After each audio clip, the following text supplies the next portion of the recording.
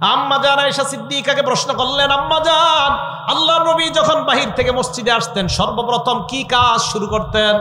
আম্মা জবাব কলাত বিসিওয়াক। নবী বাহির থেকে ঘরে আসার পর সর্বপ্রথম মেসওয়াক করতেন।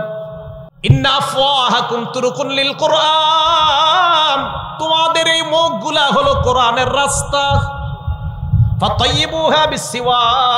কোরআনের রাস্তাটা মেসওয়াকের মাধ্যমে পবিত্র বানাও।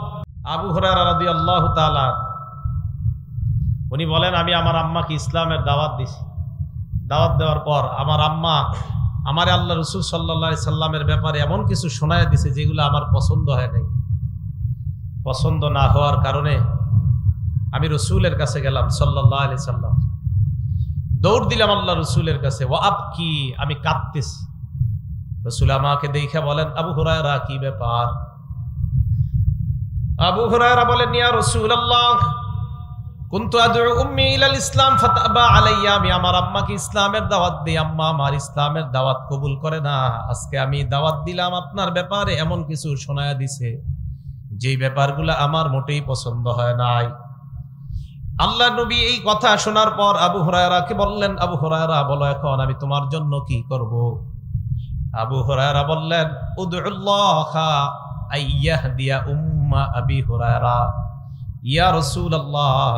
আপনি আল্লাহর কাছে দোয়া করেন, আল্লাহ যেন আবু হুরায়রার মাকে হেদায়েত দিয়ে দেয়। হুজুর, আপনি দোয়া করেন আল্লাহর কাছে। তো রসুল সাল্লাহ সাল্লাম সাথে সাথে বলছে আল্লাহ হুম্মাহদি উম্মা আবি হুরায়রা, আল্লাহ আপনি আবু হুরায়রার মাকে হেদায়েত দিয়ে দেন। আবু হুরায়রা বলেন, আমি বাড়িতে আসলাম, আসার পর দরজার সামনে দাঁড়ায় দেখলাম মহুয়া মুজাফ, দরজা বন্ধ। বাড়িতে আইসা দেখি দরজা বন্ধ। দরজা বন্ধ দেখে আমি দরজার সামনে দাঁড়ায় রইলাম।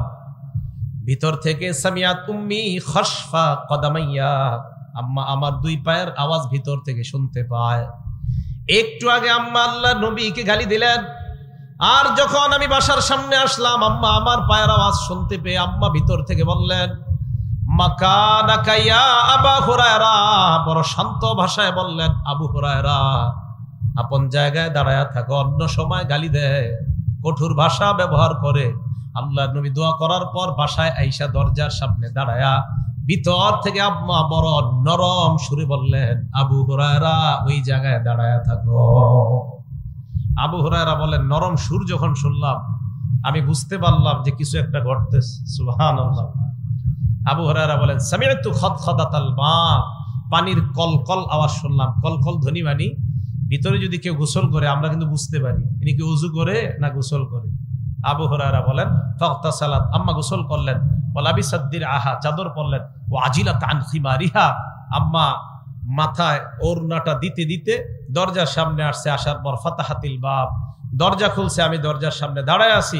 আম্মা আমার সামনে দাঁড়ায় বললেন আল্লাহ ইলাহা ইল্লাল্লাহ ও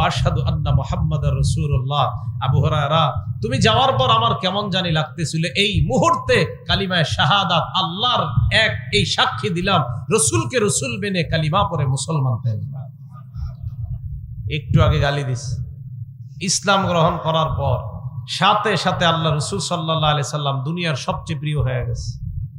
আবু হরারা রদি আল্লাহ আবার দৌড় দিছে রসুলের কাছে। আবু হরারা বলেন ওয়ানা কি মিনাল ফারহি, আমি এবার খুশিতে আল্লাহ নবীর কাছে দৌড় দিলাম। আল্লাহ নবীর কাছে গেলাম, যাওয়ার পর বললাম ইসলাম সিরিয়া রসুল আল্লাহ অথবা সিরিয়া রসুল আল্লাহ হুজুর আপনি সুসংবাদ গ্রহণ করেন।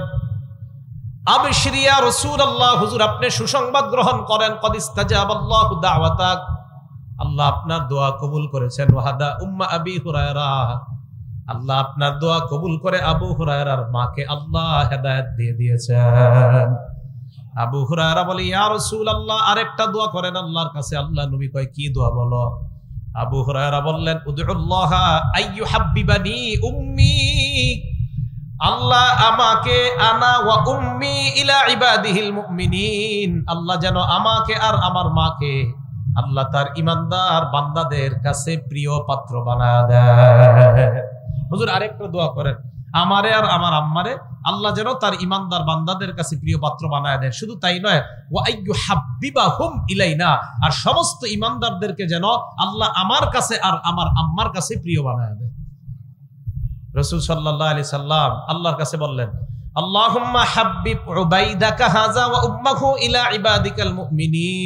দেখেন কি কয়? আল্লাহ আপনি আপনার এই ছোট বান্দা এবং তার মাকে আপনার ইমানদার বান্দাদের কাছে প্রিয় পাত্র বানায় দেন। ছোট ছোট বাচ্চা এভাবে বলছে, আল্লাহ আপনার এই ছোট বান্দা। নবীজি আবু হরার রাদি আল্লাহ তালানুকে খুব মহব্বত করতেন, মায়া করতেন।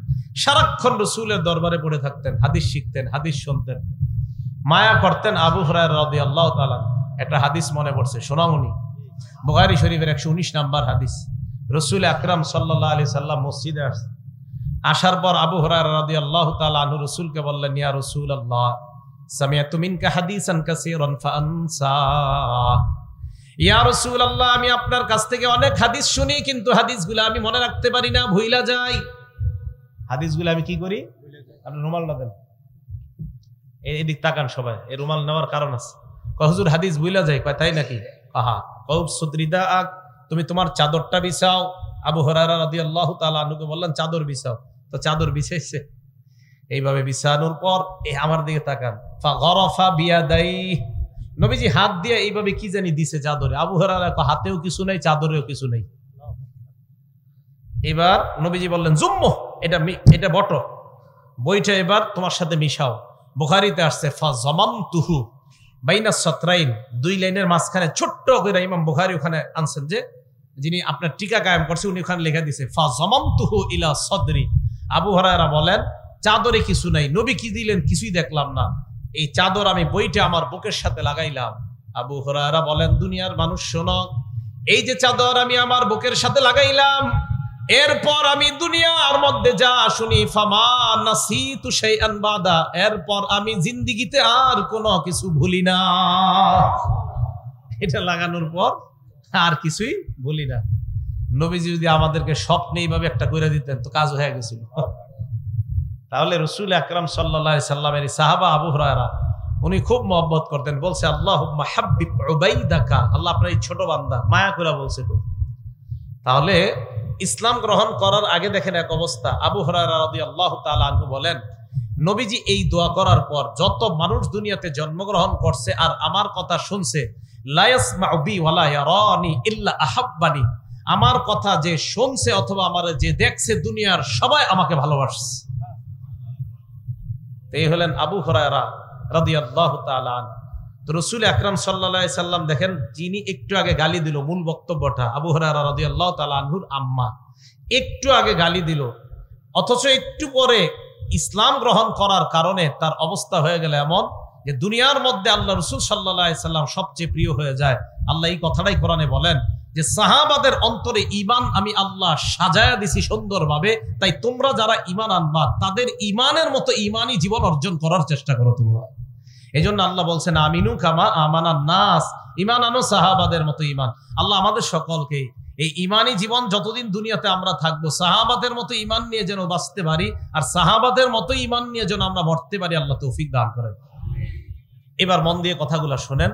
ইমানি জীবন ইমানি মরণের জন্য ছয়টা উপায় আলোচনা করব। খুব মন দিয়ে শুনেন কথাগুলা। কয়টা উপায়?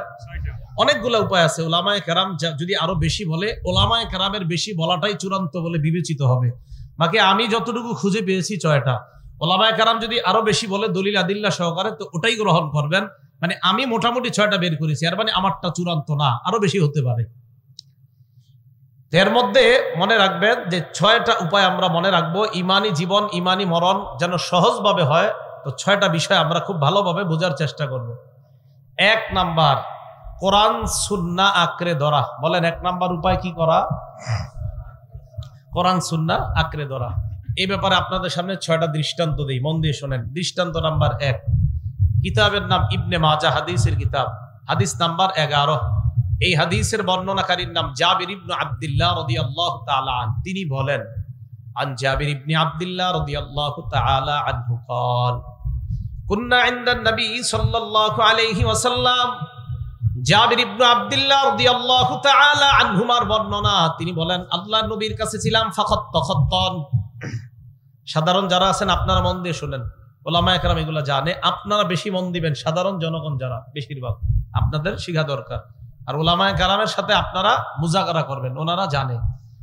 তো সাধারণ যারা আপনাদেরকে একটু পরে পরে আমি জিজ্ঞাসা করব, আপনারা কিন্তু বলতে হবে। আলেমরা বলতে হবে না, অন্য যারা আছেন আপনারা বলতে হবে। তো দেখেন, এক নাম্বার কোরআন শূন্য আঁকড়ে ধরা। তো জাবির ইবনে আব্দুল্লাহ বলেন, রসুল সাল্লাহ সাল্লাম একটা দাগ দিলেন। দাগ দেওয়ার পর খত্ত খত্তাইনি আন ইয়ামিনি, ডানে দুইটা দাগ দিলেন। অখত্ত খত্তাইনি আন শিমালি, বামে দুইটা দাগ দিলেন। মাঝে একটা দাগ দিলেন, ডানে দুইটা দাগ, বামে দুইটা দাগ দিলেন। দাগ দেওয়ার পর বললেন হাদা সাবিলুল্লাহি মুস্তাকিমা। হে আমার উম্মত, তোমরা শুনে নাও, হাদিসের মধ্যে আসছে, সুম্মা ওয়াদআ ইয়াদাহু ফিল খাত্তিল আওসাত। মাঝখানের দাগের উপর হাতটা রাখলেন রাখার পর বললেন, এটাই হলো আল্লাহর সোজা রাস্তা, এটাই হলো সিরাতে মুস্তাকিম। একটা দাগ চাইটা অন্য হাদিসে আছে যে আশেপাশে অনেকগুলা, অন্য হাদিস আছে খুতুতন, আশেপাশে অনেকগুলা দাগ। প্রত্যেকটা দাগের উপর একটা শয়তান বৈশা আমাদেরকে ডাকে, আসো আসো। আর মাঝখানের দাগে আল্লাহ ডাকে। এটাই হলো সোজা রাস্তা, আশেপাশের রাস্তাগুলা বাঁকা রাস্তা। আল্লাহ রসুল এই হাদিস বলার পর এই ওনার কথার সপক্ষে কোরআনের একটা আয়াত তেলওয়াত করলেন। আল্লাহ রসুল তেলওয়াত করলেন এটাই হলো আমার রাস্তা, এই রাস্তা তোমরা অনুসরণ করো। আশেপাশের রাস্তাগুলো অনুসরণ আশেপাশের রাস্তায় যদি যাও, তাহলে এই রাস্তাগুলা মাঝখানের রাস্তা থেকে তোমাদেরকে দিবে। এখন থেকে আপনারা সাধারণ জনগণ, চাই স্টলের সামনে বসে আরেকজনকে বুঝাইবেন যে, ভাই, শোনো, আল্লাহ রসুল একদিন একটা দাগ দিছে, ডানে দাগ দিছে, বামে দাগ দিছে, মাঝের দাগের উপর রসুল হাত রাইখা বলছে, এটাই সিরাতে মুস্তাকিম, এটা সোজা রাস্তা, আশেপাশের রাস্তাগুলা শয়তানের রাস্তা এরপর এইভাবে বুঝাইবেন আরেকজনকে, রসুল মাঝখানের দাগের উপর হাত রেখা বলছে, এটা সিরাতে মুস্তাকিম, এটা সোজা রাস্তা। এরপর আল্লাহ কোরআনে বলছে, এই রাস্তার অনুসরণ করো, আশেপাশের রাস্তায় যাও না, যদি যাও, ওই রাস্তাগুলা তোমাদেরকে মাঝের রাস্তা থেকে সরায়া দিবে। এভাবে বুঝাইতে পারবেন না? হ্যাঁ পারবেন না ইনশাল্লাহ একদম সহজ কথা কিন্তু। মাঝের রাস্তায় না চইলা আশেপাশের গুলায় যদি যাই, তো ওই রাস্তাগুলো আমাদেরকে সিরাতে মুস্তাকিম তথা সোজা রাস্তা থেকে দূরে সরায়া দিবে। আল্লাহ আমাদের সকলকে সিরাতে মুস্তাকিমের উপর আমরা যেন অটল থেকে চলতে পারি, আল্লাহ তৌফিক দান। মাজার বারো নম্বর হাদিস। এ আমার দিকে তাকান, এটা একটা চেয়ার না? রসুল সাল্লাহ আলি সাল্লাম হাদিসে বলেন, এই হাদিসের বর্ণনাকারী সাহাবার নাম মিকদাম ইবনে মাদি কারব রদি আল্লাহ আন। এই মিকদাম ইবনে মাদি কারব বলেন, রসুল সাল্লাহ আলি সাল্লাম বলেছেন, ইউশিকুর রজুল মুত্তাকিয়ান আলা আরি কাতিহি এমন একটা জামানা আসবে। যেই জামানায় মানুষ সিংহাসনের মধ্যে টেক লাগায়া বসে থাকবে মিন্নি, তার সামনে আমার হাদিস পেশ করা হবে। হাদিস পেশ করার পর ওই ব্যক্তি বলবে ও আমাদের মাঝে, তোমাদের মাঝে আল্লাহর কিতাব থাকতে হাদিসের কি প্রয়োজন বলেন? নাউজুবিল্লাহ। এদেরকে বলা হয় আহলে কোরআন। কি বলা হয়? যারা বলে শুধু কোরআন মানলেই চলবে, হাদিস মানার কোনো দরকার নাই। আল্লাহ রসুল বলেন, তার সামনে হাদিস পেশ করার পর সে বলবে, আল্লাহর কোরআন থাকতে হাদিস মানার কি প্রয়োজন? এবার ওই ব্যক্তি যুক্তি দিয়ে বলবে, ফামা মিন এই কোরআনের মধ্যে যা হারাম, এটাই আমরা হারাম হিসাবে গ্রহণ করলাম। ওয়ামা মিন কোরআনের যেটা হালাল, এটাকে আমরা হালাল হিসাবে গ্রহণ করলাম। আপনাদের কাছে জানতে চাই, বলেন তো এই কোরআনের হারামকে আমরা হারাম মানি কিনা? কোরআনের হালালকে আমরা হালাল মানি কিনা? তো ওই ব্যক্তিও যুক্তি দিবে আপনারে, কোরআন থাকতে হাদিসের কি দরকার? কোরআনের হালাল মানলেই তো হয়, কোরআনের হারাম মানলেই তো হয়, হাদিস মানার কোনো দরকার নাই। আল্লাহ রসুল সাল্লা সাল্লাম বলে দিলেন আল্লাহ যারা বলে শুধু কোরআন মানলেই চলবে, হাদিস মানার দরকার নাই তাদেরকে তোমরা জানা দাও, আমি আল্লাহ নবী যা হারাম করেছি, আমার হারাম করাটা আল্লাহর হারাম করার মতো হারাম হয়ে যায়। এর মানে কোরআনের হারাম যেমন মানতে হবে, আমি নবীর হাদিস থেকে হারাম, ওটাও তোমাদের মানতে হবে। কোরআনের হালাল যেমন মানতে হবে, আমি নবীর হাদিস থেকে যেই হালাল জানবা, ওই হালালও তোমরা মানতে হবে। এটা কেন বলে জানেননি? কোরআনের কোথাও কিন্তু নাই ফজরের নামাজ দুই রাকাত, কোরআনের কোথাও নাই জোহরের নামাজ চার রাখাত কোরআনের কোথাও নাই আসরের নামাজ চার রাকাত। কোরআনের কোথাও নাই মাগরিবের নামাজ তিন রাকাত কোরআনের কোথাও নাই এশার নামাজ চার রাকাত। তাই আপনাকে ছলে বলে কৌশলে শুধু কোরআনওয়ালা বানাইতে চায়, হাদিস থেকে আপনারে দূরে রাখতে চায়। কেন? হঠাৎ আপনারে বুঝাবে, এই, তুই না শুধু কোরআন মানুষ কয় হ্যাঁ আমি তো শুধু কোরআন মারি এ বেটা, কোরআনে কি কোথাও আছে যে জোহর চার রাকাত? না, আসলেই তো কোরআনে কোথাও তো লেখা নাই জোহর চার রাকাত। তো তুই চার রাকাত পরস কেন? জোহরের সময় খালি আল্লাহর দিকে তাকাইলে হয় নামাজ, আর চার রাকাত এমনি পড়তে হবে না। এগুলো হাদিসের কথা, হাদিস মানার কোনো দরকার নাই।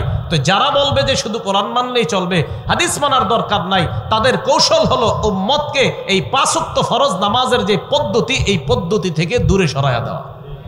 না, এটা তো কোরআনে লেখা নাই। আসর নামাজ চার রাকাত কোরআনে নাই, এটা হাদিস আছে।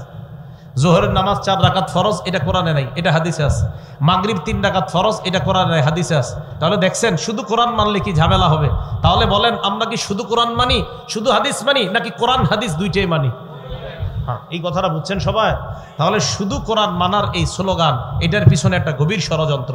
রসুল সাল্লাহ সাল্লাম বলেন, সিরাতে মুস্তাকিম, আল্লাহর কোরআন এবং সুন্না উভয়টা মানার নাম। আল্লাহ আমাদের সকলকে মরণ পর্যন্ত এই কোরআন এবং সুন্না উভয়টা আঁকড়ে ধরার তৌফিক দান করে উদাহরণ নাম্বার তিন এটা কিতাব আছে, হাদিসের নাম সহিহুত তারগিব এই কিতাবের চল্লিশ নাম্বার হাদিস। এই হাদিসের বর্ণনাকারীর নাম আবদুল্লাহ ইবনে আব্বাস রদিয়াল্লাহ তালা আনহুমা। তিনি বলেন, রসুল সাল্লাহ আলি সাল্লাম বিদায় হজে জনগণের সামনে দাঁড়াইলেন। দাঁড়ানোর পর বললেন, হে জনগণ, শোনো তোমরা। কদিয়া ইসা শয়তান বি আইবাদা বি আর দিকুম কয়, শয়তান নিরাশ হয়ে গেছে। তোমরা শয়তানের এবাদত করবা না মুসলমানরা, এই ব্যাপারে শয়তান নিরাশ। মানে তোমরা আল্লাহকে সেজদা করবা। তোমরা আল্লাহর জন্যই নামাজ পড়বা, শয়তানের এবাদত করবা না, এই ব্যাপারে শয়তান নিরাশ। তবে, ওয়ালাকিন্নাহু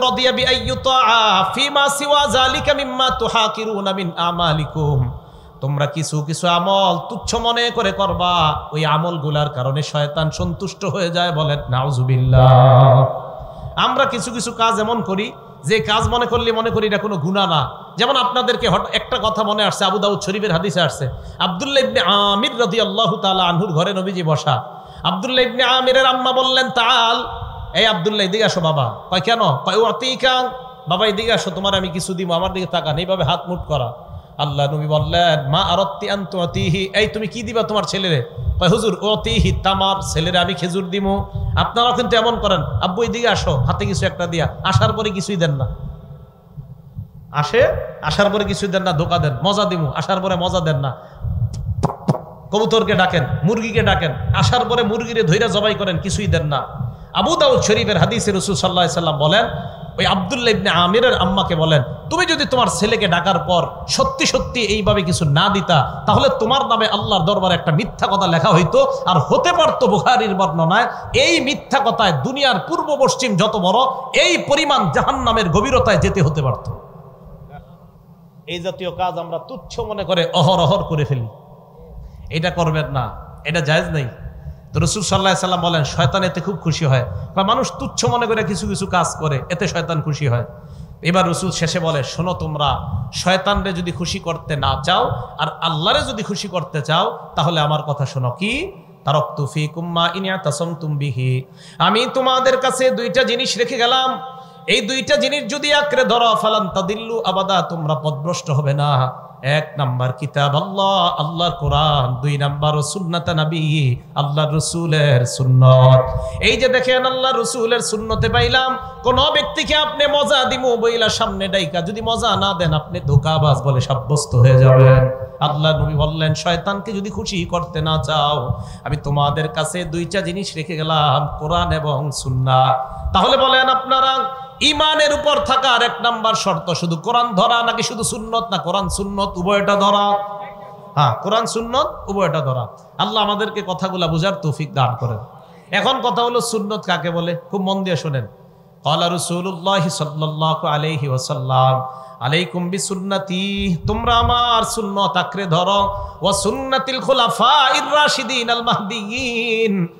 আমার হেদায়ত প্রাপ্ত খোলাফায় রাশেদা সাহাবাদের শূন্য তোমরা আঁকড়ে ধরো। আব্দুল্লাহ ইবনে মাসুদ বলেন, মান কানা মুস্তান্নান, কেউ যদি সুন্নতের অনুসারী হতে চাও ফাল্যাস্তান্না বিমান মাত। সে যেন ওই ব্যক্তির অনুসরণ করে যেই ব্যক্তি মারা গেছে। আব্দুল্লাহ ইবনে মাসুদ কয়, জাননি কারা মারা গেছে? উলাইকা আসহাবু মুহাম্মাদিন সাল্লাল্লাহু আলাইহি ওয়াসাল্লাম। তারা হলো আল্লাহ নবীর সাহাবা। বলেন কারা? হ্যাঁ মন- মন দিয়ে বুঝবেন। নবীর সুন্নত শুধু সুন্নত না, নবী এবং সাহাবা, উভয়ের সুন্নত সুন্নত। বলেন কি বলছি? সাহাবা, উভয়ের সুন্নত সুন্নত। দলিল, জুমার নামাজের দিন খুতবা দেওয়ার আগ পর্যন্ত খতিব সাহেব কয়টা আজান হয়? দুইটা। জুমার নামাজের আজান হয় কয়টা? সবাই বলেন কয়টা? এখন আপনাদেরকে কেউ আটকাইতে পারে। হুজুর, জুমার নামাজের আজান তো হাদিসের মধ্যে একটা পাওয়া যায়, আরেকটা কোথায় পাইলেন? আপনি বলবেন, আরেকটাও হাদিসের মধ্যে পাইছি। কোথায় পাইছি? হাদিসের মধ্যে। আপনাদের এলাকার যদি কেউ আমাকে প্রশ্ন করেন, হুজুর, দুই আজান কোথায় পাইলেন? তা আমি বলব দুটোটাই হাদিসে পাইছি। এখন আপনি বলবেন, হুজুর, একটা তো আল্লাহ রসুলের জামানায় পাইছি, বুঝে আসছে। আর একটা আপনি কোথায় পাইলেন? আমি জবাব দিলাম আর একটা হজরত উসমান গনি রাদিয়াল্লাহু তাআলা আনহুর সুন্নত। এবার আপনি আমাকে প্রশ্ন করলেন, উসমান গনির সুন্নত যে মানতে হবে, এই ব্যাপারে দলিল আছে কিনা? আমি বললাম হ্যাঁ আছে। এবার আপনি বললেন, কোথায় আছে? সহি হাদিস আছে কিনা স্লোগানটার নাম কি? আমি বললাম হ্যাঁ সহি হাদিসের মধ্যে আছে। এখন তো আপনি অবাক, কি কয়? এবার আপনি আমার কাছে জানতে চাইলেন, কোথায়? আমি বললাম, ইবনে মাজার বিয়াল্লিশ নাম্বার সহি হাদিসের মধ্যে আস। ইবনে মাজার বিয়াল্লিশ নাম্বার সহি হাদিসের মধ্যে আছে, আল্লাহ নবী বললেন, তোমরা আমার সুন্নত ধরো। তাহলে আমার সুন্নত ধরার মধ্যে এক আজান পাইলাম। এক আজান পাইয়া গেলাম, আমার সুন্নত ধরো। এবার আরেক আজান কোন সাহাবার নাম কইছি বলেন সবাই? ওয়াসুন্নাতিল খোলাফা ইরাশিদিন রাশিদিন, আমার হেদায়েত প্রাপ্ত খোলাফা রাশেদার সুন্নত। বলেন তো চার খলিফার মধ্যে হজরতে উসমান গনি আছে কিনা? তাহলে হজরত উসমান গনির সুন্নত ধরার কথাও আল্লাহ নই বলছেন কিনা? এ তো পান নাই কোথায়? তাহলে এক হাজার নবীর সুন্নত, আরেক হাজার উসমান গনির সুন্নত। উসমান গনিরটা মানতে হবে দলিল, বলবেন নবীরটাও মানতে হবে, উসমান গনিরটা মানতে হবে। এক হাদিসে এই দলিল আছে। কোন হাদিস? ইবনে মাজার বিয়াল্লিশ নাম্বার হাদিস। প্রথম অংশ, আলাইকুম বিসুন্নাতি। আমার সুন্নত আঁকড়ে ধরো, তাহলে এক হাজার নবীর সুন্নতে পাইলাম। অসুন্নাতিল খোলাফা, আমার হেদায়ত প্রাপ্ত খোলাফা রাশেদার সুন্নত আঁকড়ে ধরো। দ্বিতীয় আরেকটা আজান পাইলাম হজরত উসমান গনির সুন্নত, আর উসমান গনি চার খলিফার একজন। নবী বলছে, তাদের সুন্নত এই বাড়ির দাঁত দিয়ে, যেই দাঁত দিয়ে তোমরা হাড্ডি চাবায়া খাও, ওই হাড্ডি যেই দাঁত দিয়ে তোমরা চাবাও, ওই দাঁত দিয়ে আমার সুন্নত আর আমার ওই সাহাবাদের সুন্নত আঁকড়ে ধরো। এই জন্য কথাগুলা বুঝবেন। শুধু শুধু একজন মানুষের উপরে বেদাতি তকমা লাগাই দিবেন না। এক মসজিদে আপনি গেলেন ২০ মিনিট, আপনি পড়াশোনা কইরা বিশ বছরের খতিব সাহেবের ভুল ধরে ফেললেন মসজিদে গিয়ে। এই কাজগুলা করবেন না, ঠিক আছে না? এই ঝগড়াগুলা করবেন না। এগুলা একদম ফাও ঝগড়া। উম্মতের মীমাংসিত বিষয়গুলা নিয়ে ঝগড়া করব না। তাহলে আসেন আবার আগের কথায়। কয় জিনিস আঁকড়ে ধরতে হবে? ভুলে গেছে। কয় জিনিস? কোরআন সুন্না কোরআন সুন্না সুন্নত মানে রসুলেরও সুন্নত, সাহাবাদেরও সুন্নত। আল্লাহ আমাদেরকে বুঝে শুনে আমল করার তৌফিক দান করেন। বলেন তো ইমানের উপর থাকা আর ইমানের উপর মরার কয়টা উপায় বলব আমরা? এক নাম্বার, কোরআন শূন্য আঁকড়ে ধরা কয়টার দিক দৃষ্টান্ত গেছে? তিনটা। ভুলে যায় সবাই। কয়টা? তিনটা। হ্যাঁ। তৃতীয় হাদিস থেকে এখানে গেলাম। চতুর্থ দৃষ্টান্ত। সহি বখারি হাদিস নাম্বার ছয় হাজার চারশো বিরাশি নাম্বার হাদিস। এই হাদিসটা রসুল সাল্লাহ আলি সাল্লাম কীভাবে বলে দেখেন? হজরত আবু মুসা রদি আল্লাহ তালু বর্ণনা তিনি বলেন আল্লাহ নবী বলেন, আমার দৃষ্টান্ত, আমি যেই কোরআন হাদিস নিয়ে আসলাম, এই কোরআন হাদিসের দৃষ্টান্ত কামাসালি রজুলিন এমন অনেক ব্যক্তির মতো, যেই ব্যক্তি আতা কৌমা তার সম্প্রদায়ের কাছে আসছে, আসার পর ওই সম্প্রদায়ের কাছে এইসা বলছে আমি আপনাদের সামনে আসলাম, আসার পর আমি আপনাদেরকে বললাম, ভাঙ্গায় আমি দেখলাম একদল সশস্ত্র বাহিনী অপেক্ষা করতেছে। আপনাদের উপর অস্ত্র নিয়ে তারা যে কোনো সময় হামলা চালাইতে পারে। সদরপুরের এই মুসলমান, আপনারা আমার কথা বিশ্বাস করার ক্ষেত্রে দুই দল হয়ে গেলেন। এক দল আমার কথা মানলেন, মানার পর রাতের বেলা গাট্টি গুট্টি নিয়ে পালিয়ে যে যে নিরাপদ স্থানে চলে গেলেন। আরেক দল আমার কথা না মেনে রাতের বেলা আরামে ঘুমাইলেন। ফজরের আগে ওই বাহিনী এসে হামলা করে আপনাদেরকে ধ্বংস করে দেয়। আল্লাহ নবী বলেন, শোনো তোমরা, আমার দৃষ্টান্ত আর আমি যেই কোরআন হাদিস নিয়ে আসলাম, এর দৃষ্টান্ত হলো ওই ব্যক্তির মতো। এক ব্যক্তি তার এলাকায় গেছে, যাওয়ার পর গিয়ে বলল, ইন্নি রাইতুল যে হিসাবে আইনাইয়া, আমি এই দুই চক্ষু দিয়ে সশস্ত্র সৈন্যদেরকে দেখে আসলাম। অস্ত্রধারী সৈন্যরা তোমাদের উপর যে কোনো সময় হামলা চালাইতে পারে। এইটুকু বুঝে আসছে? এই কথা বলার পর মিনহুম, তাদের মধ্য থেকে একদল তার কথাটা বিশ্বাস করছে। করার পর ফাদলাজু ফান্তলাকু আলা মুহলাতিহিম, রাতের বেলা তাড়াতাড়ি তারা পালিয়ে নিরাপদ স্থানে চলে যায়। ডেক ডেকসি কলস যা আছে সব নিয়ে রাতের বেলা নিরাপদ স্থানে চলে গেছে। ওয়াকাজ্জাবাত তাইফা, আরেক দল অবিশ্বাস করছে থুর ওর কথা বিশ্বাস করি না। এই কথা বলার পর ফাসবাহু মাকানাহুম, রাতের বেলা আরামে ঘুমাইছে। ঘুমানোর পর সব্বাহুমুল জাইশ। ফজরের আগে আইসা হামলা চালাইছে। ফাকতালাহুম ফাজতাহাহুম, সবগুলা শেষ করে দিস আল্লাহ নবী কয়, আমার দৃষ্টান্ত ওই ব্যক্তির মতো। এবার মন দিয়ে বুঝেন। ভাই দৃষ্টান্তরা বুঝছেননি? এক ব্যক্তি আইসা বলছে, শোনো, শত্রু বাহিনী হামলা চালাবে। আপনারা একদল মানছেন আর একদল মানেন নাই। যারা মানছেন নিরাপদ হয়ে গেছেন আর একদল মানেন নাই, ধ্বংস হয়ে গেছেন। তো রসুল বলেন, আমি যেই কোরআন সুন্না তোমাদের কাছে রেখে গেলাম, এই কোরআন সুন্না মানার ক্ষেত্রে তোমাদের মধ্যে দুই দল, এক দল আমার কথা মানবে, তারা নিরাপদে জান্নাতে প্রবেশ করবে। আরেক দল আমার কথা মানবে না, ওই ধ্বংসপ্রাপ্ত বাহিনীর মতো তারা জাহান্নামি হবে বলেন নাউজবিল্লাহ। তাহলে কোরআন সুন্নার দৃষ্টান্ত, চমৎকার দৃষ্টান্তটা আমরা জানলাম। চা দোকানের সামনে গিবত শেখায়ত না কইরা এইগুলো আপনারা আলোচনা করবেন। সিরাতে মুস্তাকিমের আলোচনাটা মনে থাকবে না? সোজা রাস্তা, আশেপাশে রাস্তা এইগুলো আলোচনা করবেন। আরেকটা বললাম যে দেখ, তোদের এলাকায় এক ব্যক্তি আসছে। আসার পর বলল, একদল বাহিনী তোদের উপর হামলা চালাবে। একদল তোরা মানলি তার কথা আর একদল মানলো না। রসুল সাল্লাহ সাল্লাম বলছে, আমি ওই ব্যক্তির মতো যে যেই ব্যক্তির কথা একদল মানছে, তারা নিরাপদ। আর একদল মানে নাই, তারা নিরাপদ হইতে পারে নাই, ধ্বংস। রসুলও বলেছেন, আমার কথা যারা মানবে, তারা নিরাপদে জান্নাতে যাবে। যারা মানবে না, তারা জাহাদ নামে যাবে। এভাবে বুঝাইতে পারবেন না আরেকজনকে মাশাল্লাহ আল্লাহ তৌফিক দান করেন উদাহরণ নাম্বার পাঁচ সই বুখারি হাদিস নাম্বার সাত হাজার দুইশো আশি নাম্বার হাদিস এই হাদিসের বর্ণনাকারী আবু হরায়রা রাদিয়াল্লাহু তাআলা আন عن أبي هريرة رضي الله تعالى عنه قال قال رسول الله صلى الله عليه وسلم আবু হুরায়রা রাদিয়াল্লাহু তাআলা আনহুর বর্ণনা আল্লাহ নবী বলেন কুল্লু উম্মতি ইয়াদখুলুনাল জান্নাহ আমার সব উম্মত জান্নাতে যাবে সুবহানাল্লাহ আমার সব উম্মত কোথায় যাবে? তবে ইল্লা মান আবা। যারা অস্বীকার করে, তারা জান্নাতে যাবে না। তো ইলা মাইয়া আবা ইয়া রাসূলুল্লাহ। সাহাবারা বললেন, ইয়া রাসূলুল্লাহ। অস্বীকার করে কারা? এই ব্যাপারে আপনার কাছে জানতে চাই। আল্লাহ নবী জবাব দিলেন, মান আতাআনি ফাকাদ দাখলাল জান্নাহ। যারা আমার অনুসরণ করে, তারা আমাকে স্বীকার করে তারা জান্নাতে যাবে। ওমান আসনি ফাকাদ আবা। আর যারা আমার নাফরমানি করে, তারাই হলো অস্বীকারীর দল। আল্লাহ আমাদের সকলকে অস্বীকারীর দল থেকে আমরা যেন বেঁচে থেকে আল্লাহ রসুলের আনুগত্যশীল উম্মত হওয়ার তৌফিক দান করেন। ছয় নাম্বার দৃষ্টান্ত সই বুখারি হাদিস নাম্বার সাত হাজার দুশো অষ্টআশি নাম্বার হাদিস। বিসমিল্লা এই হাদিসের মধ্যে রসুল আকরাম সাল্লাহ আলি সাল্লাম বলেন, দাউনি মা তারক্তুকুম। আমি তোমাদেরকে যা বলি তোমরা এগুলা মাইনা নাও, এত প্রশ্ন করো না। এখন প্রশ্ন, হুজুর, এই যুগে কেমনে মানবো? ওলামা একরাম যেভাবে বলব, এইভাবে মানবেন। বলেন কি বলছি? এলাকায় দাওয়ার হাদিস মাদ্রাসা আছে না? এই মাদ্রাসার ওলামা একরামরা যেভাবে কোরআন, সুন্না মানতে বলবে, ওইভাবে মানবেন। উনি বিশ বছর পড়াশোনা করছে। তো উনি পড়াশোনা করার পর আপনি বিশ মিনিট পড়াশোনা করে ওনারে একদম চব্বিশ ঘণ্টা প্রশ্নের উপর রাখেন। আরে? রসুল সাল্লাহ সাল্লাম বলছে দাউনি আমার ছাড়ো, এত প্রশ্ন করো না তোমরা। যেমনি কই এমনি মানো। তো রসুল সাল্লাহ সাল্লাম বলেন হালাকামান কানা কবলাকুম তোমাদের পূর্বের জাতি ধ্বংস হয়েছে দুই কারণে। জোরে বলেন কয় কারণে? এক নাম্বার, বিকাশরতি সুআলিহিম, আজাইরা বেশি প্রশ্ন করার কারণে। দুই নাম্বার, ইখতিলাফিহিম আলা আম্বিয়াইহিম, নবীদের বিরোধিতা করার কারণে তোমাদের পূর্ববর্তী জাতি ধ্বংস হয়ে গেছে। আল্লাহ নবী বলেন, ফামা নাহাইতুকুম আন শাইইন ফাজতানিবু আমি তোমাদেরকে কোনো বিষয়ে নিষেধ করলে এটা থেকে তোমরা বিরত থাকবা। ওমা আমার তুকুম বি আমরিন আমি যদি কোনো বিষয়ে আদেশ করি ফাতু মিনহুম আস্তাতাতুম। যথাসাধ্য এটা মেনে নেওয়ার চেষ্টা করবা। তাহলে নবীর হুকুম মানি, প্রশ্ন ছাড়া নবীর নিষেধকে আমরা বর্জন করি, প্রশ্ন ছাড়া। কথা মনে থাকবে তো সবার?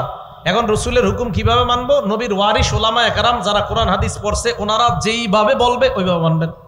আপনাদের এলাকার আল্লামা আব্দুল গাফার সাহেব থাকতে আপনারা আবার কার কাছে দৌড়ান? কথা মনে থাকবে সবার। তাহলে ওলামা একরাম যেইভাবে ব্যাখ্যা দিবে, এইভাবে কোরআন শুননা আব্দুল, আল্লামা আব্দুল গাফার সাহেব আপনাদের এদিকে কেমন দাম জানি না।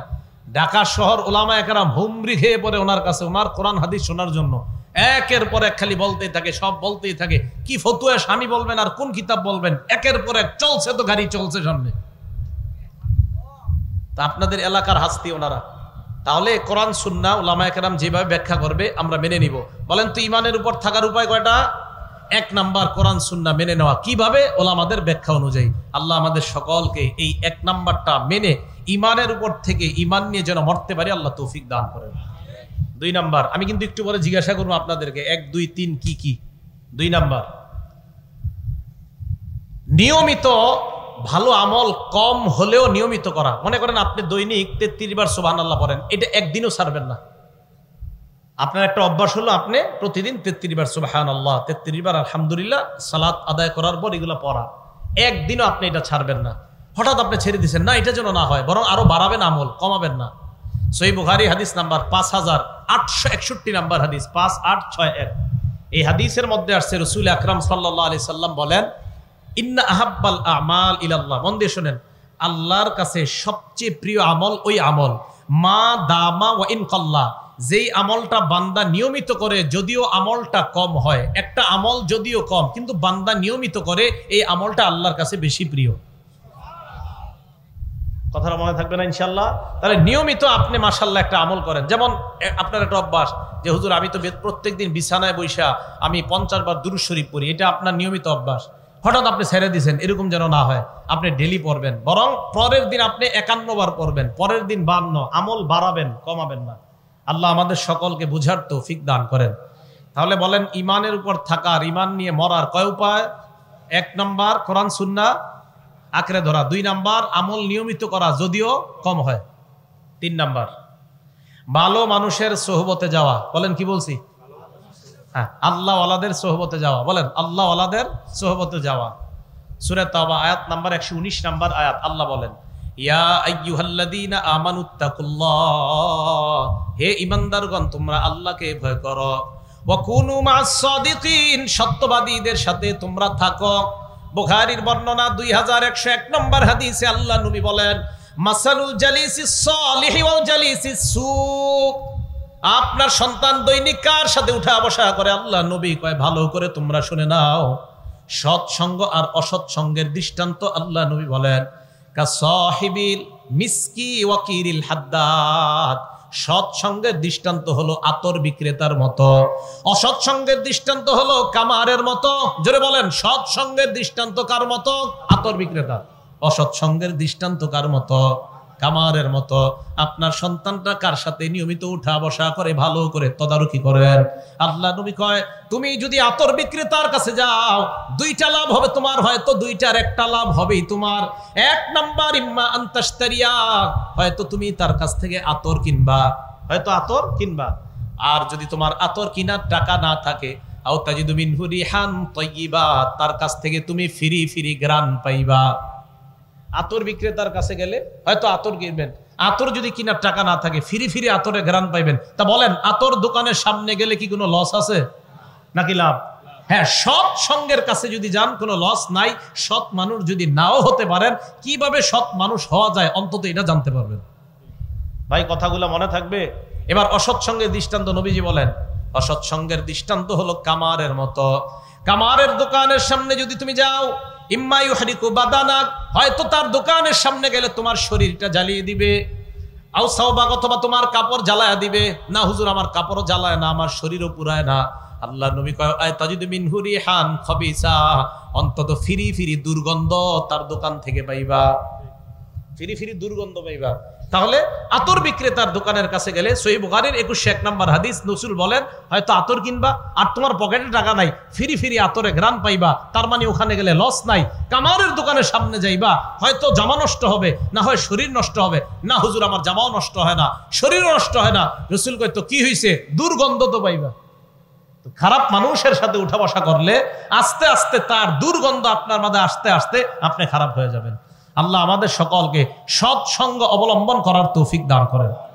আবু দাউদ শরীফের একটা হাদিস শোনেন। হাদিস নাম্বার চার হাজার আটশো তেত্রিশ নাম্বার হাদিস। চার আট তিন তিন, চার হাজার আটশো তেত্রিশ।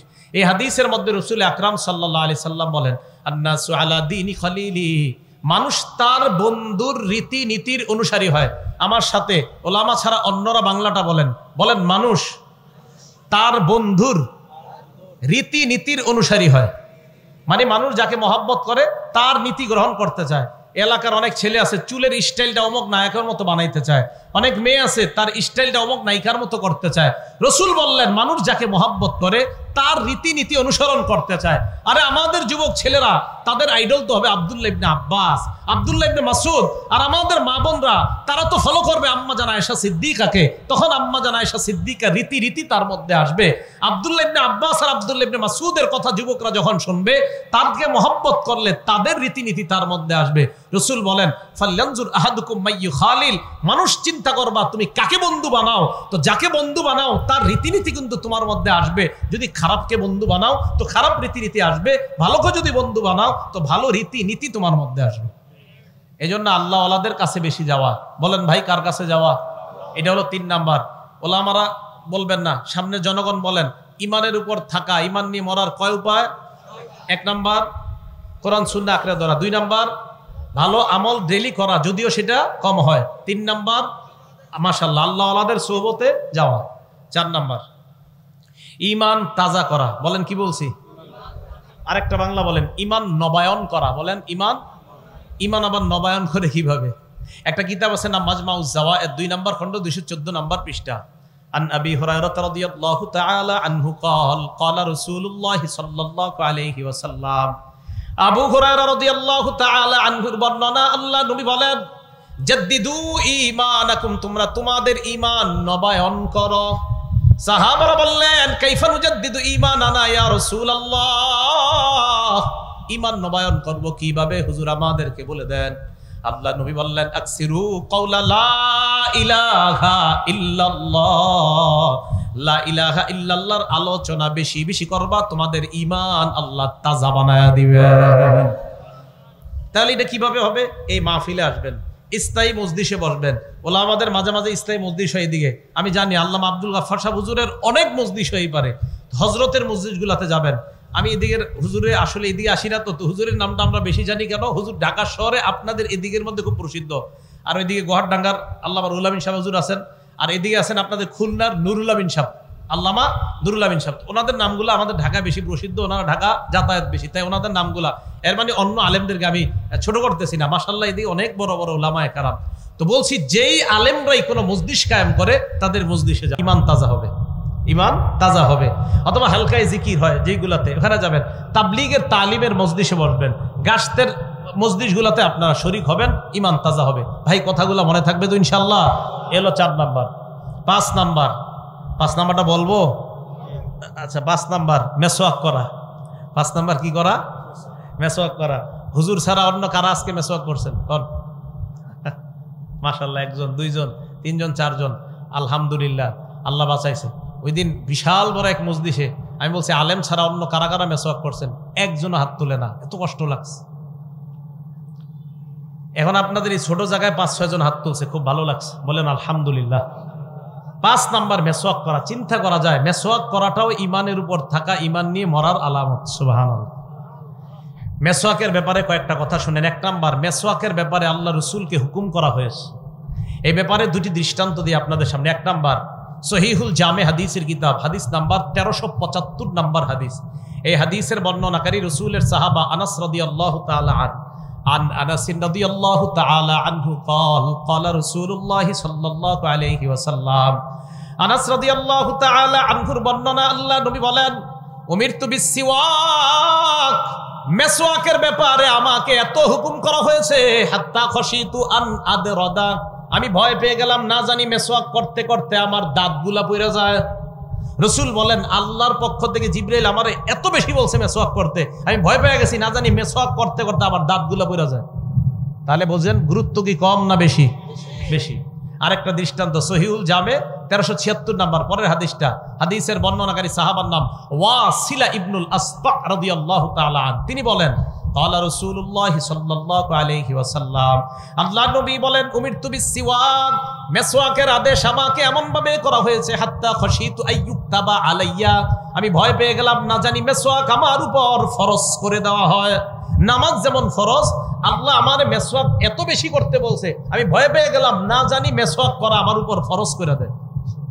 তাহলে ভাই, আমি এবার আপনাদের কাছে জানতে চাই কথাগুলো বলার। কালকে কাদের কাছে মেসোয়াক থাকবে ইনশাল্লাহ সবার। মেসোয়াক করবেন তো ইনশাল্লাহ হাত নামান। সেই বুখারি। হাদিস নাম্বার আটশো সাতাশি নাম্বার হাদিস। এই হাদিসে রসুল আকরাম সাল্লাহ সাল্লাম বলেন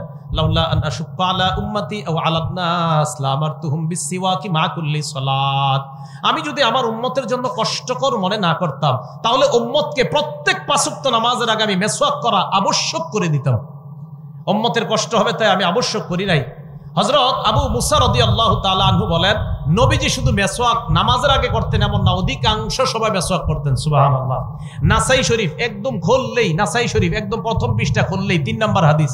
এই হাদিসের মধ্যে আসছে, আবু মুসার আদি আল্লাহ আনহু বলেন আল্লাহ আল্লাহ আমি আল্লাহ আমি দেখলাম মেসোয়াকের একটা অংশ আলা লিসানি রসুলের জিব্বায়। রসুল আ আ করতেছিলেন। সুবাহান আল্লাহ দেখেন, আমি তো আটা সুন্দর হয়নি আমার। নিশ্চিত আমার রসুলেরটা খুব সুন্দর ছিল। হ্যাঁ আমারটা সুন্দর হয়নি, আসলেই সুন্দর হয়নি। তো এই সাহাবা বলেন, আমি দেখলাম ওহু ইয়াকুল আ আ। হাদিস এরকম শব্দ আসছে, আ আ। আইন, আলিফ আইন, আলিফ, আ আ আসছে। তো আমি দেখলাম, রসুল মেসক এইভাবে রেখে আ আ করতেছে। তো আমি আপনাদেরকে বললাম, আমার নবীরটা নিশ্চিত অনেক সুন্দর ছিলেন। স্বপ্নে দেখলে বোঝা যাইতো কেমন সুন্দর। এই রসুল সাল্লাহ সাল্লাম অধিকাংশ সময় মেসোয়াক করতেন। ভাই, সবাই মেসোয়াক করেন। আল্লাহ সবাইকে এই মেসোয়াকের আমল, এই আমল আপনাকে ইমান নিয়ে মৃত্যুবরণ করতে সাহায্য করবে ইনশাল্লাহ করব তো ইনশাল্লাহ মা বোনদেরকেও বলবেন মেসোয়াক করতে। বাচ্চা, ছোট ছেলে মেয়ে, সকলকে মেসোয়াক মুখী বানায় দেন। ইনশাল্লাহ ঘরেও বরকত হবে। বোখারি শরীফের আটশো অষ্টআশি নাম্বার হাদিস। এই হাদিসের মধ্যে রসুল আকরাম সাল্লাহ সাল্লাম বলেন, কি বলে দেখেন আমার দিকে তাকান? এই আপনারা যথেষ্ট কইছি, এরকম বলি না আমরা। আপনারা আর কত কমু এরকম শব্দ বলি বাংলা। রসুল সাল্লাহ সাল্লাম বলেন আকসার তু আলাইকুম বিসিওয়াক আমার উম্মত, মেসওয়াকের ব্যাপারে আমি তোমাদেরকে যথেষ্ট বলছি। আমি তোমাদেরকে মেসওয়াকের ব্যাপারে যথেষ্ট বলছি। এরপর আপনারা করেন না, আজকে মাত্র চারজন হাত তুলছেন। আল্লাহ সকলকে মেসওয়াক মুখী বানায় দেন। রসুল সাল্লাহ আলি সাল্লামের হাদিস থেকে জানা যায়, সহিহুল জামে একটা কিতাব, একত্রিশশো তিপ্পান্ন নাম্বার হাদিস, তিন এক পাঁচ তিন। এই হাদিসে আসছে, প্রত্যেকটা মুসলমানের তিনটা কর্তব্য। বলেন কয়টা? তিনটা। হাক্কুকুল্লি মুসলিমিন, প্রত্যেকটা মুসলমানের তিন কর্তব্য। এক আসিওয়াক মেসওয়াক করা। দুই নাম্বার, গুসলু ইয়াউমিল জুমা জুমার দিন গোসল করা। তিন নাম্বার, আইয়া মাসাবিন তিবি আহলিহি, সুগন্ধি ব্যবহার করা। এক হাদিসের মধ্যে আসছে, আম্মা জানা এসা সিদ্দিক রাদিয়াল্লাহু তাআলা আনহার বর্ণনা, নাসাই শরীফের পাঁচ হাজার চল্লিশ নাম্বার হাদিস। আম্মাজান আয়সা বলেন আশারুম মিনাল ফিত্র, রসুল সাল্লা সাল্লাম বলেন, দশটা বিষয় আছে যেই দশটা মানুষের স্বভাব। বলেন কি স্বভাব? কয়টা বিষয়? এখন দেন তো এই স্বভাবগুলো আপনাদের আছে কিনা? আমরা মিথ্যা কথা আমাদের দ্বারা হয় কিনা? বলেন, হয় কিনা? অথচ এটা মানুষের স্বভাব না, মিথ্যা কথা না বলাটা। কিন্তু মানুষ বলে, আমরা সত্য কথা অনেকে কম বলি, অথচ সত্য বলাই মুসলমানের স্বভাব হওয়া উচিত ছিল। এবার রসুল বলেন, দশটা বিষয় মানুষের স্বভাব, এরপরে মানুষ পালন করেন এবার দেখেন কি কি? এক নাম্বার কসুসারিবি মুখ ছোট রাখা, এটা মুসলমানের স্বভাব। দুই নাম্বার, কসুল আসফার নোক ছোট রাখা, মুসলমানের স্বভাব। তিন নাম্বার অগস্তুল বারো জিমি অঙ্গ প্রত্যঙ্গগুলা ধৌত করা, এটা মুসলমানের স্বভাব। চার নাম্বারটা বলব কিনা? যদি সবাই সামনের যারা আছেন, অনুমতি দিলে বলি। আসলে কমু ইয়াফা উল্লেহিয়া দাড়ি লম্বা করা, মুসলমানের স্বভাব। মনটা খারাপ হয়ে গেছে অনেকের, না? দাড়ি লম্বা করা এটাই স্বভাব। মুসলমান দাড়ি খাটো করবে মানে আপনার ইয়া করে ফেলবে, এটা তো হতে পারে না। মুসলমান দাড়ি রাখবে, এটাই তো তার স্বভাব। পাঁচ নাম্বার সিওয়াক মেসওয়াক করা মুসলমানের স্বভাব। ছয় নাম্বার, আল ইস্তিনশাক, নাকে পানি দেওয়া মুসলমানের স্বভাব। বা নাকে ময়লা থাকে, আর মুসলমান নাকে পানি দিবে, এটাই তার স্বভাব। সাত নাম্বার নাথলিপ্তি মুসলমান বগলের পশম উপরে ফেলা মুসলমানের স্বভাব। আট নাম্বার ও হালকুল আনা নাবির নিচের পশম উপরে ফেলা, এটা মুসলমানের স্বভাব। নয় নাম্বার, ইন্তিকাসুল মা ডিলাকুলুপ ব্যবহার করার পর পানি দ্বারা ইস্তেঞ্জা করা, অতিরিক্ত পরিষ্কার করা, এটা মুসলমানের স্বভাব। শুধু টিস্যু নিবেন এমন না, টিস্যু নেওয়ার পর পানিও নিবেন, এটা মুসলমানের স্বভাব। দশ নাম্বারটা ভুলে গেছি, বলেন সবাই, বাংলাটা বলেন বলেন। আপনারা বলেন বাংলাটা? সবাই বলেন দশ নাম্বারটা? আরে, এই হাদিসের যিনি বর্ণনাকারী মুসাব, উনি বলছে, কয়, দশ নাম্বারটা ভুলে গেছি। হাদিসের বর্ণনাকারী মুসাব উনি বলেন, নাসিতুল আশির দশ নাম্বারটা ভুলে গেছি। এবার বাংলাটা বলেন, তবে আমার মনে হয় দশ নাম্বার হলো কুলি করা। এটা আবার উনি বলছে। উনি বলছে, দশ নম্বরটা ভুলে গেছি। ওই বর্ণনাকারী বলতেছে, আমার মনে হয় দশ নাম্বারটা হলো কুলি করা। তা আমিও হাদিস ওইভাবে বললাম। উনি বলছে, আমি দশ ভুলে গেছি। এরপরে উনি বলছে, দশ নাম্বারটা মনে হয় কুলি করা। তাই আমিও বললাম, দশ নম্বরটা মনে হয় কুলি করা। ভাই, মনে থাকবে তো? হাদিস যেইভাবে, ঠিক ওইভাবে বললাম। তো দশটা বিষয় মুসলমানের স্বভাব। এর মধ্যে একটা হলো মেসোয়াক করা, একটা হলো কি করা? মেসোয়াক করা। মেসোয়াক করব তো ইনশাল্লাহ এবার আজ আজীব একটা হাদিস আপনাদের শেষ শোনাই। নাসাই শরীফের আট নাম্বার হাদিস, মন দিয়ে শুনেন। আম্মাজান আয়সা সিদ্দিকা রবি আল্লাহ তালা আনহাকে দেখি আজকে থেকে এই সুন্নতটা কারা কারা পালন করেন? জিলাপি আর সিন্নির সুন্নত অনেক পালন করেন। আজকে থেকে দেখা যাবে আশেখা রাসুল কারা প্রকৃত? আর আপনাদের এই পারে আশেখা রাসুল খুব বেশি। তো রসুল আকরাম সাল্লাহ আলি সাল্লাম ওনার বিবি আম্মাজান আয়সা সিদ্দিকা রদি আল্লাহ তালা আনহাকে একজন প্রশ্ন করলেন আম্মাজান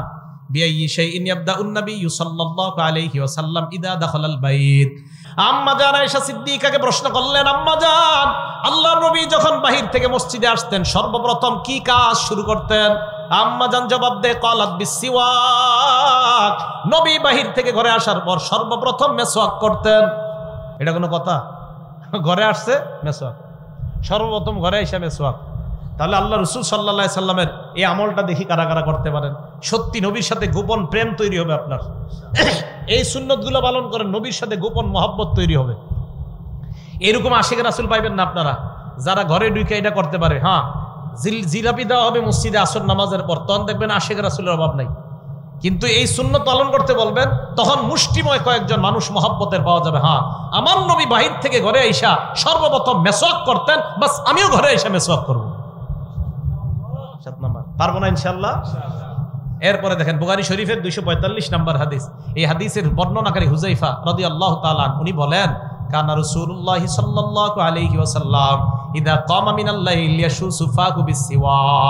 নবী যখন রাতের বেলা তাহাজ্জুদ পড়তে উঠতেন, মেসওয়াকের মাধ্যমে দাঁতগুলার পরিচ্ছন্নতা আল্লাহ রসুল বাড়ায়া নিতেন। আমি অনুবাদটা কি করলাম?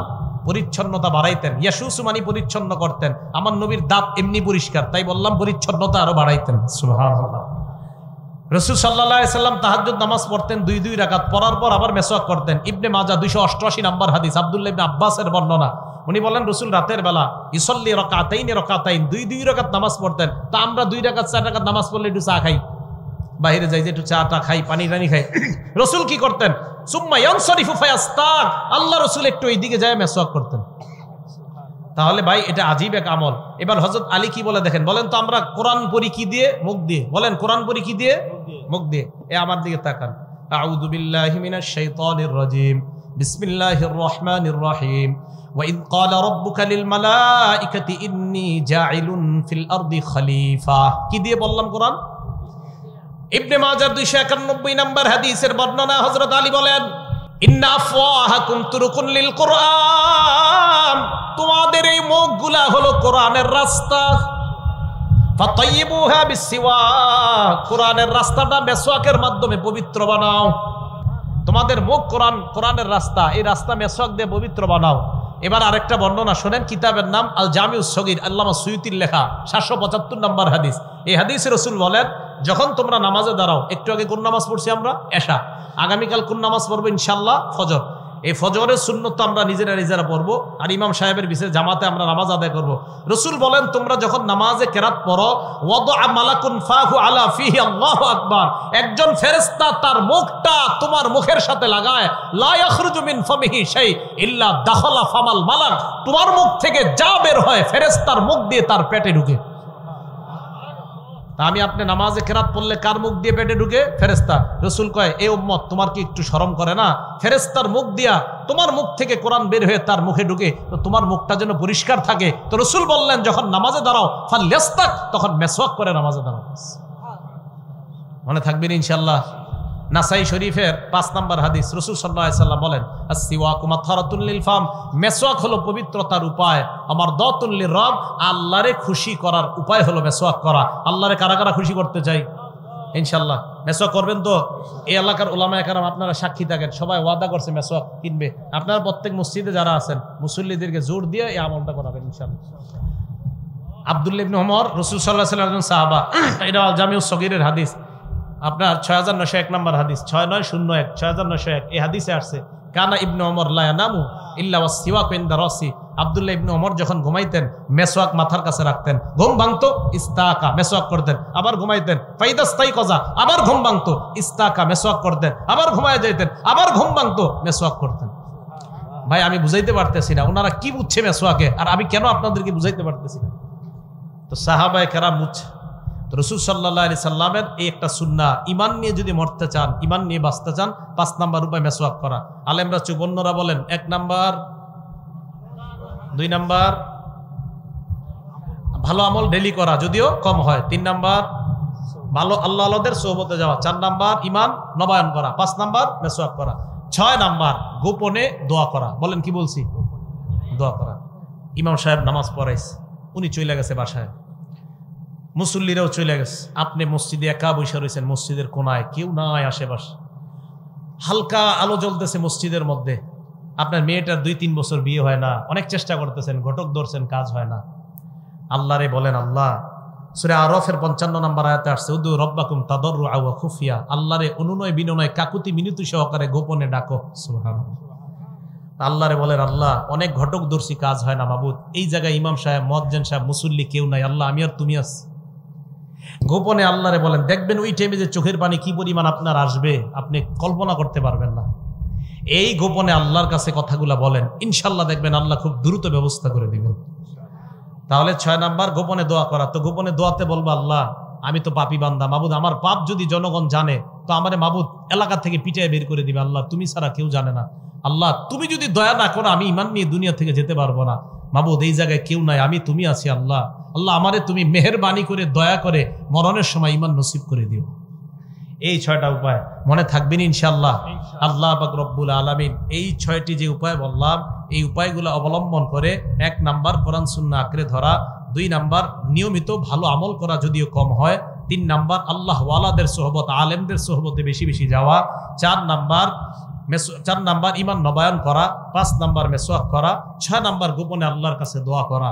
আল্লাহ পাক রব্বুল আলমিন আমাদের সকলকে, আমি সহ সবাই যেন কথাগুলা পালন করতে পারি, আমল করতে পারি ইমান নিয়ে কবরে যে আমি আপনি, আমরা সবাই যেন জান্নাতে আবার দেখা করতে পারি, আল্লাহ তৌফিক দান করেন। আমিন ওয়াখির আলহামদুলিল্লাহ রবিল আলম